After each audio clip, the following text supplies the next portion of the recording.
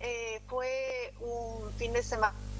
XL positivo en lo que es la gastronomía y la, hotelería también. Tuvo unos picos de ocupación hotelera bastante significativos y en lo que es la gastronomía también traccionó lo que es el Día del Padre, el domingo eh, y sábado también, ¿no? Lo que fue el comercio, las ventas de confiterías, todo lo que es regalos eh, gastronómicos para el padre y, el consumo en los locales, parrillas al mediodía, toda la oferta gastronómica que tiene para, para los festejos en esta fecha, la verdad que fueron, fueron muy positivos y la gente que también vino de otras partes, la gente que no viajó y se quedó dentro de la ciudad, por supuesto que no ha dejado ni uno ni dos días de salir a, a comer, a tomar algo y de disfrutar los días preciosos que también han acompañado y eso por supuesto que también es un factor importante para eh, el movimiento y el consumo de la gente. Eh, en este fin de semana largo, la, hotelería eh, tuvo, como te digo, unos picos muy interesantes de gente que, que, se alojó por estar de paso, iban hacia otros destinos, pero han hecho noches en nuestra ciudad, se han quedado a sanar, tal vez un día, eh, gente de Paraguay que sí pernotan dos noches, que eso también está, está interesante comenzar a tener más días de pernotación, sobre todo en un fin de semana largo, donde generalmente la gente acá no viene los cuatro días. Es una noche, dos noches y así eh, ir trabajando, por supuesto, en el destino, como hubo distintos eventos donde invita a la gente a tener también otro tipo de actividades, de distracciones, entonces hacen que se puedan quedar un día más. En cuanto a la Bienal, eh, nuestra, nuestra estrella en lo que turismo de eventos trata, ya prácticamente todas las plazas hoteleras están reservadas por distintas, ya, eh, ya sean los escultores, distintas empresas, todo el movimiento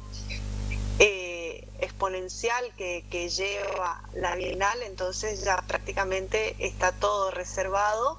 Vamos a tener que, prepararnos como siempre con el mejor servicio y seguramente en esta oportunidad también se buscarán otros modelos de alojamiento porque eh, con las plazas hoteleras que hay eh, no vamos a, poder cubrir la demanda, así que, bueno, vamos a tratar de que, de que, todos puedan alojarse y de tratar de ofrecer el mejor servicio para que como siempre se lleven la mejor imagen de nuestra ciudad y como esta bienal año a año va creciendo, no solamente como calidad en el evento, que por sí es un, un evento de excelencia, sino en todos los servicios anexos que este tipo de, movimientos ofrece. Nosotros estamos trabajando, eh, ya está aprobada una ley de regularización de todo lo que es la oferta de alojamiento que hay en la ciudad. Entonces, si es que llega a haber eh, departamentos en alquiler, cabañas, lo que esté de manera donde la ley esta que ya está aprobada lo, ampara y lo nuclea, eh, podría ser una alternativa siempre y cuando estén dentro de las reglas, por eso nosotros estamos próximamente ya a, a implementarla y así